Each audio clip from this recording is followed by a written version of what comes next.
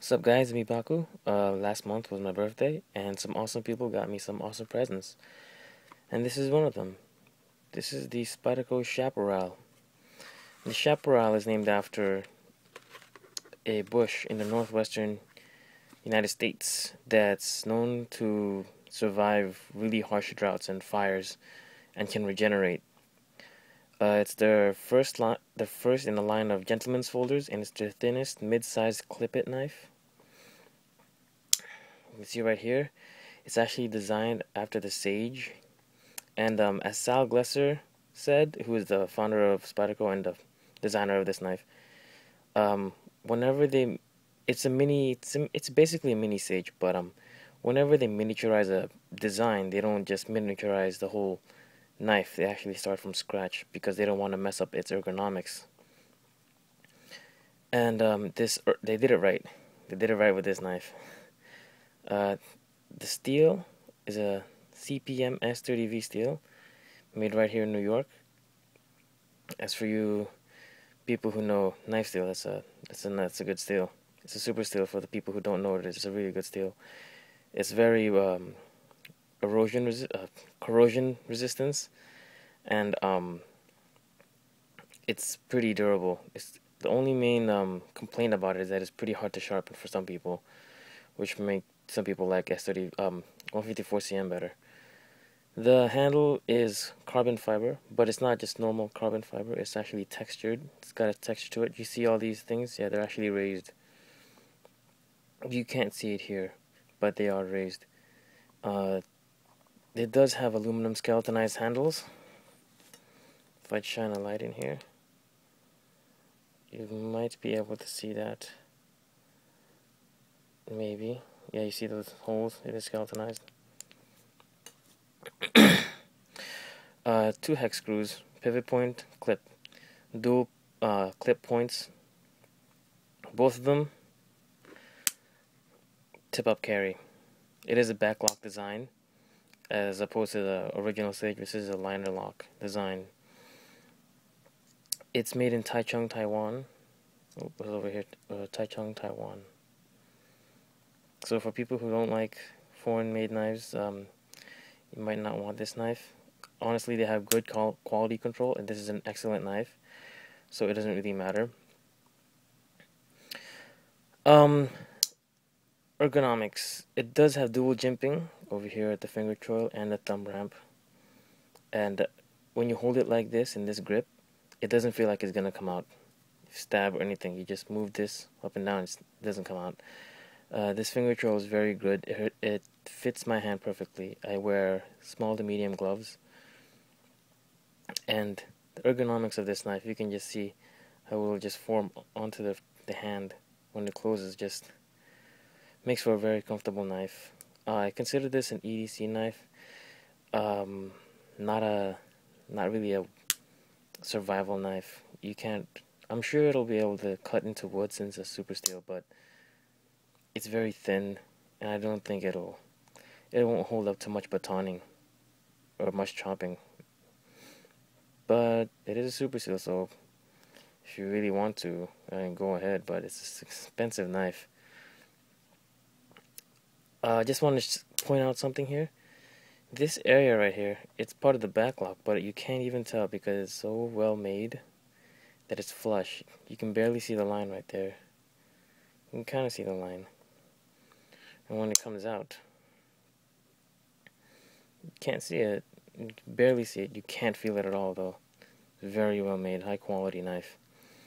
It is a gentleman's folder which means it's uh it's made lightweight. It's uh the late the the weight on the Spyderco website says that it's 2.5 ounces.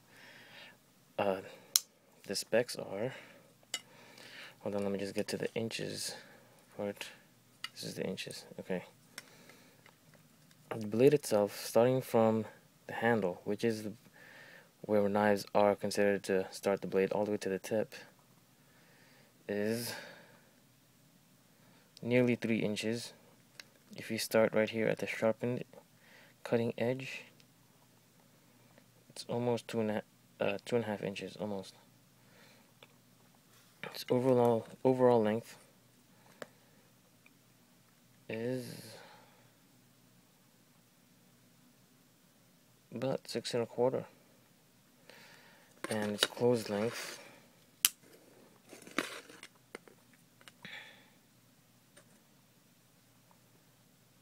Can't really tell from here okay.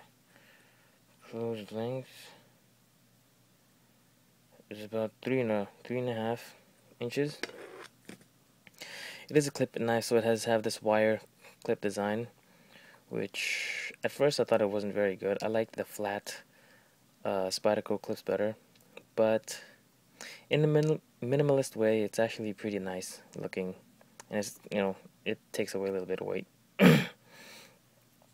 Um, you see the knife right here. It is a leaf-shaped blade because it's uh, designed after the sage.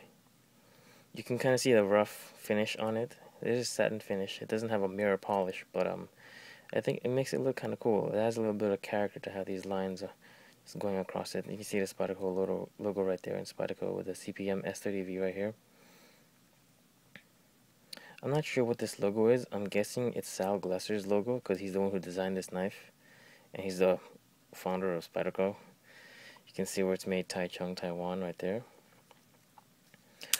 Um, this knife is very good for um, just walking the streets EDCing because it is under three inches the blade. And when cops do this they can't really you know they, they can't uh, say it's illegal because it doesn't go over the hand.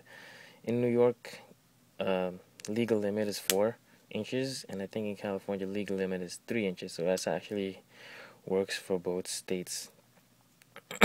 Because it is not it is not a gravity knife. Gravity knife means it can come out through gravity. So a balisong is an example of a gravity knife. This, if it came out when I did this, it would be a gravity knife, but it doesn't come out when I do that. It's not spring assisted. It is not automatic. It's fully manual. And uh, the thing is, it got me. I actually kind of took some time to get used to this whole Spyderco opening. Kind of felt like it wasn't natural to me because I've been using the Ontario Rat one for so long. But after a while, you can actually flick it out pretty quickly. And you can even do this thing I found out that I could do, where you put your finger right here in the spider hole, put your middle finger right on the jimping right there. I don't, I don't want to shake the camera too much, but uh, you can deploy it by just shaking it down like, like that. And um, I thought that was kind of cool. Might not be practical in the combat, but uh, I don't see this fulfilling a very combat role, combat heavy role. I don't consider it an equalizer. It could be an equalizer, but since the blade is so small, you don't have too much reach.